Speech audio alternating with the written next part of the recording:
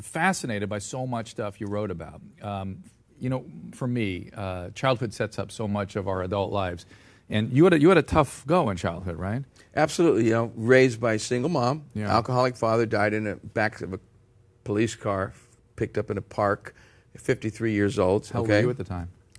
Uh, I was 20 when my dad died, and uh, I had a. Were you, were you the, the parent in the house at that point? Were you no, taking- I was the youngest of four kids, Oh. had four children, but my mother had already raised us. My dad had been homeless for, for 15 years. mean- I mean, that- Five years old when my dad went homeless. I- but I mean, that must have had a profound effect on you growing up. Total profound effect. Can you can you describe what that is, or Yeah, I, I think it's really important that uh, you turn that into a positive. My positive was I don't ever want to be poor again. I, I will get out of this. You know, I will be somebody, and, and I was determined. I had drive and willing to work my butt off for anything I is achieved. hard work because because I know in this day and age we live in this world of the secret. We just think it's going to be so, and it's so. Yeah.